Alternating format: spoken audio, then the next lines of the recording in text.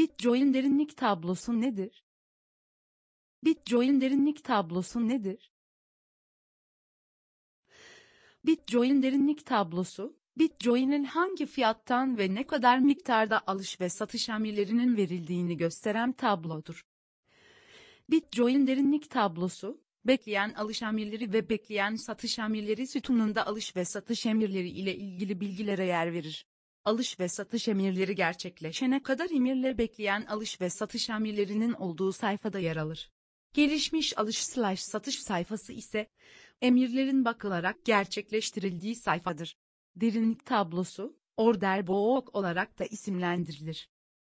Bitjoin derinlik tablosunun tanımı nedir? Derinlik tablosunun anlamı, alış-satış emirlerinin hangi fiyattan ve ne kadar miktarda verildiğini gösteren ve güncellenen ekrana verilen isimdir. Kripto para birimleri, hisse senetleri ve diğer değişkenler için derinlik tabloları oluşturulabilir. Bitjoin için alış-satış emirlerini gösteren derinlik tablosuna ise Bitjoin derinlik tablosu ismi verilir. Derinlik tablosu ismi ile anılmasının nedeni, bekleyen emirlerin alt alta listelenmesi ve bu şekilde bir derinlik oluşturmasıdır. Bitjoin derinlik tablosunun yorumlanması nasıl yapılır?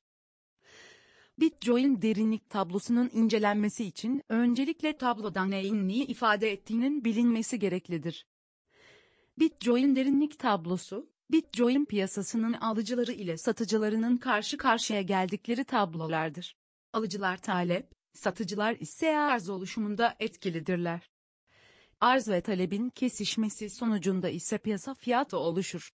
Yorumlanma açısından kolaylık olması için derinlik tablosunda aynı fiyata sahip olan emirler sadece bir kere görülür. Aynı fiyata sahip olan emirlerin bir araya geldikleri grafiklerdir. Sıfır fiyat seviyesinde verilmiş olan emirlerin miktarlarının toplanması ve tek bir satırda gösterilmesi mantığına dayanan bir tablodur.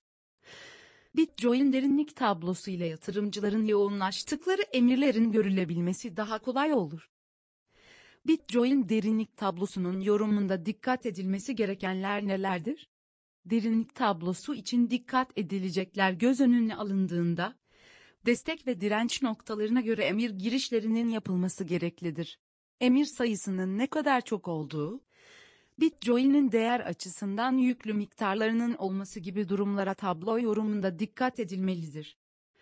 Bitjoin balinasının Bitjoin derinlik tablosunu tamamen alt üst edebilme ihtimali vardır.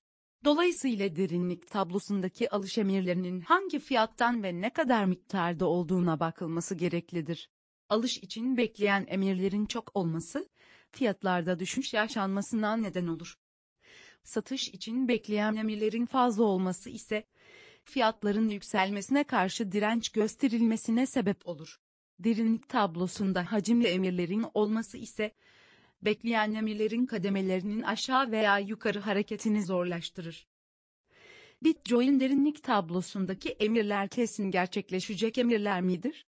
Derinlik tablosundaki emirlerin gerçekleşmesi, kesin değildir. Yatırımcı derinlik analizinde yüksek miktarda alış emri girilmiş olması ile karşılaşabilir. Bu emir gerçekleştiğinde Bitcoin üzerinde olumlu bir etki yaratsa da, gerçekleşmeden önce iptal edilebilmesi de mümkündür. Yatırımcılar girdikleri emirleri bir kerede karşılamak zorunda olmadıkları için alış emirlerinin sadece az bir kısmının gerçekleşmesi de mümkün olabilir. Bitcoin derinlik tablosundaki emirlerin kesin olarak gerçekleşebilmesi için alıcı ile satıcıların bir araya getirilmeleri ve emirlerin eşleşmeleri gereklidir. Verilen emrin satıcının bulunamadığı durgunluk dönemlerinde, Bitcoin derinlik tablosunda da durgunluk görülür.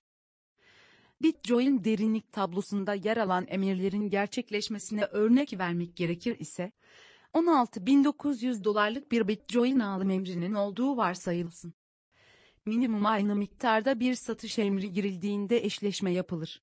Ayrıca bu tutarın üzerinden 0.5 Bitcoin satış yapılır ise, emrin gerçekleşebilmesi için birden fazla işlem yapılması gerekir.